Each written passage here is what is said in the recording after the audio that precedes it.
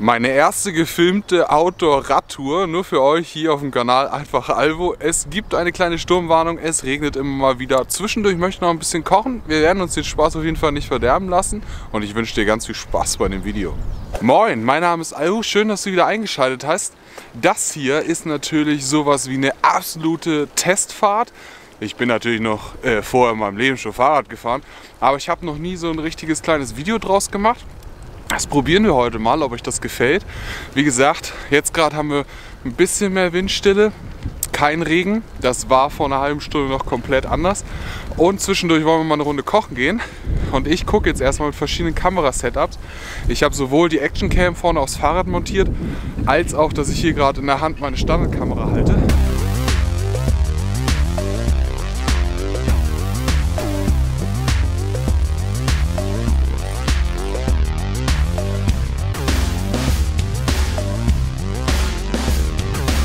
So, eben war das Bild auf jeden Fall zu hell eingestellt. Ich habe jetzt mal ganz kurz angehalten, mir ein bisschen die Aufnahmen angeguckt.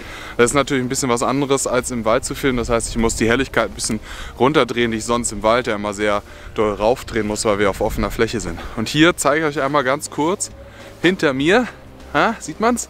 Mein Fahrrad mit Setup. Jetzt sieht man es besser. Wie gesagt, vorne drauf habe ich die kleine Actioncam montiert, mm, die ich auch schon mal auf dem Westweg benutzt habe zum Filmen. Ähm, die benutze ich kaum noch, weil mir das Bild nicht so gut gefällt, die Licht- und Farbeinstellung nicht so gut gefällt. Ist natürlich nur eine kleine Actioncam. Ja.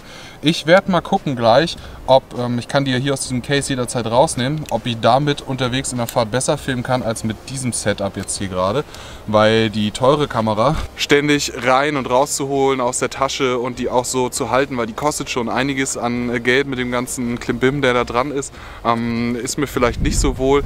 Ich gucke mal, ich habe auch noch verschiedene Mikrofone für die Actioncam, sehr viel ausprobieren. Die Tour, die ich hier übrigens gerade mache, ist eine ja, selbst gefundene Tour sozusagen von mir ähm, bei Buxtehude durch das Buxtehuder Moor, beziehungsweise das, was davon übrig ist. Buxtehude, für die, die es nicht wissen, das ist so links unterhalb von Hamburg, also in der Nähe, nicht das alte Land, aber in der Nähe vom alten Land. Und die Tour geht so, wenn man gemütlich fährt, eine Stunde 20 ähm, ungefähr, so um und bei 10 Kilometer. Ich werde das später natürlich in der GPS-Aufnahme dann ganz genau sehen.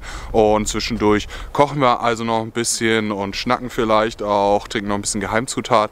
Also wir kommen wahrscheinlich so auf zwei Stündchen, also ich zumindest, das Video ja bestimmt nicht. Außerdem habe ich noch eine Fahrradtasche, die ist mir mal zugeschickt worden, ähm, letzten Herbst schon. Jetzt komme ich erst dazu, die auszuprobieren.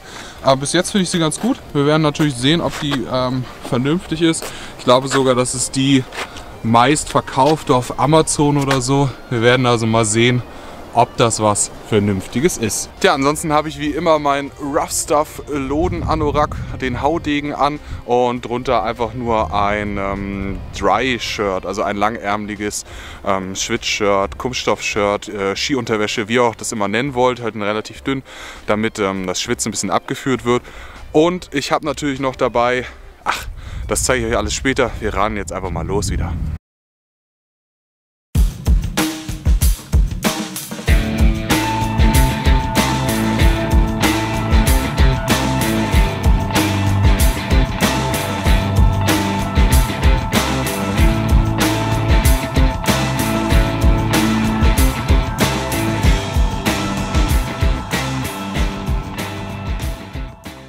So, wir schauen jetzt mal, wie das so ist mit dem nur Standard eingebauten Mikrofon von der Kamera. Ob das ähm, halbwegs vernünftig klingt. Schreibt mir da gerne mal eure Meinung unten in die Kommentare rein. Ich kann da noch ein bisschen was nacharbeiten. Was ich auf jeden Fall weiß, ist, dass es, wenn jetzt, wie gerade jetzt wieder der Wind richtig doll anfängt, dass es dann mega rauschen wird.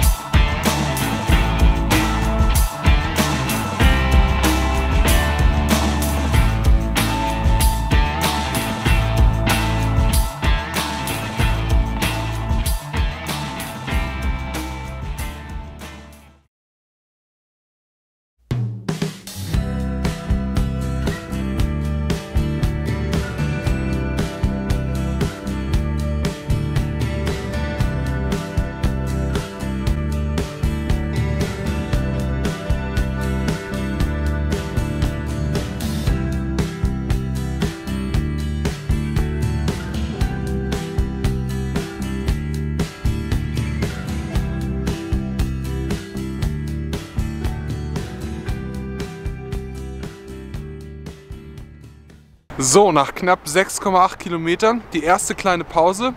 Ist noch nicht das schönste Gebiet hier, weil hier eine Straße direkt lang führt, aber das soll uns nicht vom Chillen abhalten.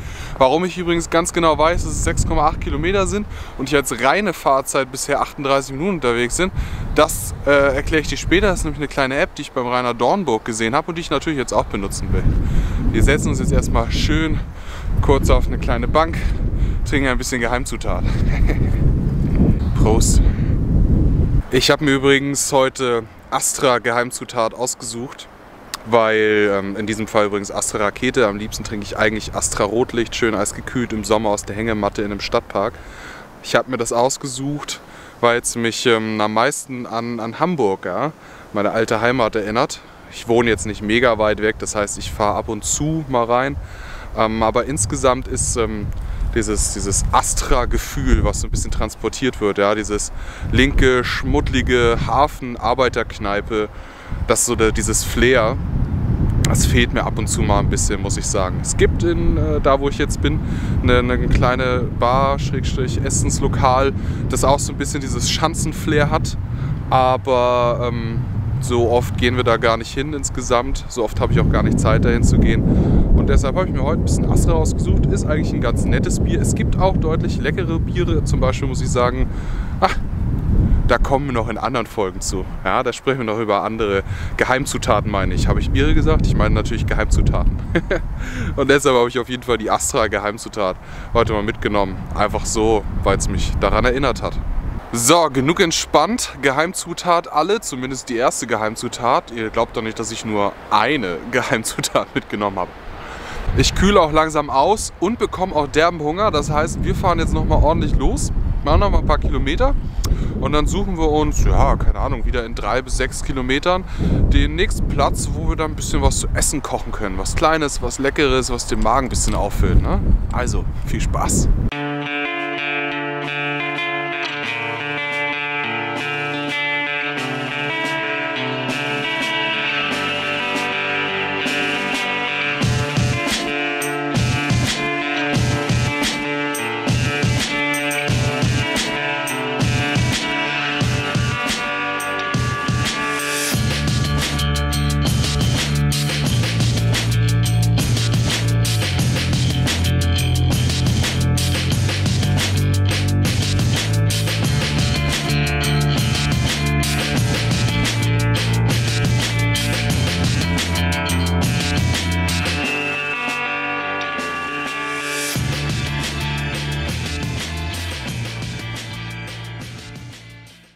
Moin Leute, das wird ja aber gerade eine längere Tour als gedacht.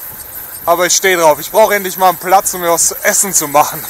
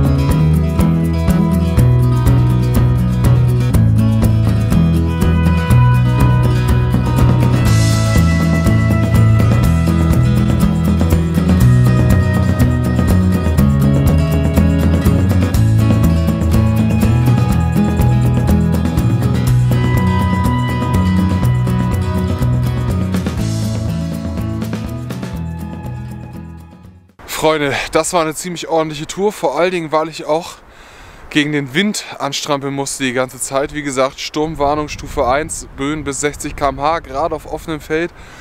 War das ziemlich krass, aber zu den einzelnen Details kommen wir gleich. Erstmal schmeiße ich den Trangia an, damit das Essen schnell fertig wird.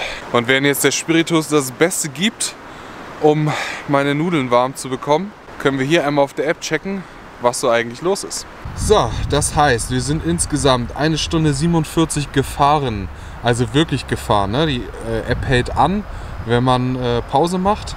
und haben eine Entfernung von 23 Kilometer zurückgelegt. Ich muss sagen, das ist eigentlich ganz ordentlich, dafür, dass ich nur so 10, 12 geplant hatte, aber ich bin dann auch links, rechts rum und ähm, hatte dann einfach nur Lust. Aber ich hätte mehr essen sollen zum Frühstück. Es gab einfach nur ein paar ganz normale Cornflakes. Nichts, was richtig äh, magenfüllend gewesen wäre. Deshalb jetzt nochmal was ordentliches zu essen. Tja, wie bereits erwähnt, wohne ich ja ähm, mittlerweile nicht mehr in Hamburg.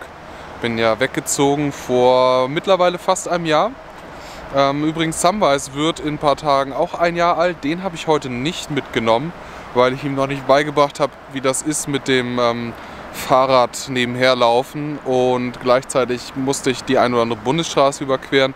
Das heißt, ähm, ich werde das demnächst irgendwann mal angehen, dass ich ihm das trainiere, wahrscheinlich auch mit einer sehr, sehr langen Schleppleine. Ähm, aber ich wollte das jetzt heute noch nicht machen. Ne? Das war mir zu viel Stress auf einmal.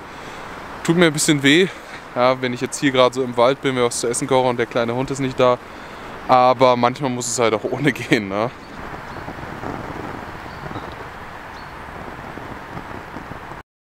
Übrigens, wo ich gerade das Kamerabild gesehen habe mit dem Trangier, der da auf der Bank steht, ähm, es wurde ja auch mal gefragt, so ist das nicht ähm, schlecht für den Boden, wenn der Trangier da auf dem Boden steht im Wald. Ähm, nein, tatsächlich nicht, weil die Flamme entsteht nicht unten am Boden, der wird überhaupt nicht heiß, sondern nur ganz oben und steht gleichzeitig noch drauf auf dem Ständer. Das heißt, klar kommt mal ein trockenes Laubblatt oder so an die Flamme ran und verbrennt dann, aber dem Boden passiert überhaupt nichts, genauso wie der Bank hier auch überhaupt nichts passiert, wenn der Trangier da drauf steht. Also es ist wirklich gar kein Problem. Demnächst werde ich mal, ich habe mir da was ähm, zukommen lassen von Gearbest, ein äh, Schraubgas-Kartuschenaufsatz. Werde ich da mal testen, wie das damit ist. Das ist natürlich ein bisschen lauter, aber man kriegt auch mehr Power raus. Und ähm, ja, ich sage euch dann im Endeffekt, werde es auf Tour ausprobieren und ihr werdet sehen, wie das dann so ist im Vergleich, was ich dann lieber habe, so für kleine Fahrradtouren zum Beispiel. Natürlich fängt es jetzt noch mal an zu regnen, ja, genau am Ende der Tour, wenn ich mir das Essen mache. Aber dafür hatte ich Glück. Nur am Anfang gab es ein bisschen Regen und während drin wusste ich verschont. Aber jetzt muss ich mir natürlich mal was überwerfen. Naja, es bleibt wohl doch bei Nieselregen, dann geht das auch. Eins muss ich ja mal ganz kurz sagen. Ne? Ich habe länger keinen von diesen Knorr-Tüten-Dingern gegessen. Ja, das ist ja im Prinzip gefriergetrocknetes Essen. Ähm, schon relativ lange nicht mehr, auch wenn ich natürlich mal so Soßen von Knorr oder so benutzt habe. Und ich hatte schon echt komplett vergessen, wie scheiße die eigentlich schmecken. Also nichts für ungut, falls irgendjemand dazu guckt, der damit für verantwortlich ist. Aber Leute, ihr macht wirklich ein absolut langweiliges Essen. Und es schmeckt halt überhaupt nicht. Es ist zu wenig Salz drin, es sind zu wenig andere noch Gewürze drin, es braucht noch ein bisschen Zwiebeln und was weiß eh nicht alles. Eieieiei. Da bin ich gerade grundlegend enttäuscht von. Ist aber nicht schlimm. Dann komme ich mir halt zu Hause was Vernünftiges gleich noch.